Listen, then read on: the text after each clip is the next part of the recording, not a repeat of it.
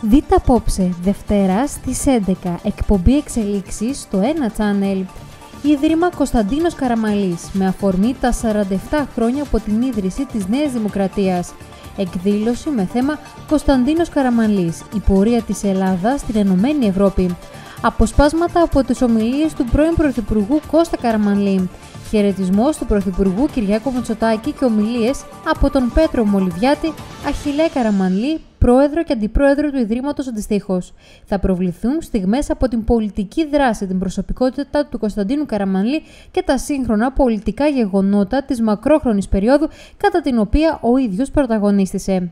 Στην εκπομπή καταθέτουν την οπτική τους ο Δημήτρης Κερίδης, επιστημονικός σύμβουλος του Ιδρύματος Κωνσταντίνου Καραμανλή και βουλευτής Νέας Δημοκρατίας, ο Μίμης Χριστοφιλογιάννης, πρώην βουλευτής Νέας Δημοκρατίας, ο Μιχάλης Αγγελόπουλος, πρόεδρος Ευρωπαϊκής Κίνησης Ελλάδος, πρόεδρος του Επιστημονικού Συμβουλίου του Ινστιτούτου Τοπικής Αυτοδιοίκησης και ΕΔΕ.